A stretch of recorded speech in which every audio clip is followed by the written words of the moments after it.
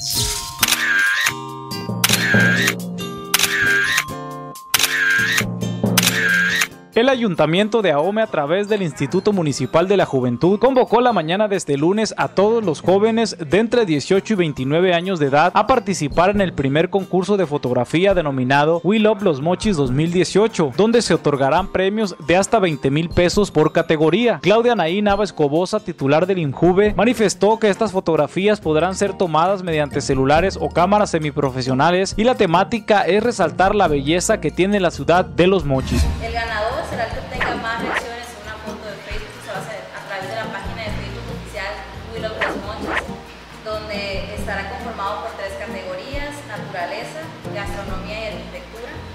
Aquí pues pueden participar todos los jóvenes del municipio de Ahome entre 18 y 29 años de edad hasta el 27 de junio, que es el día que cierra la convocatoria.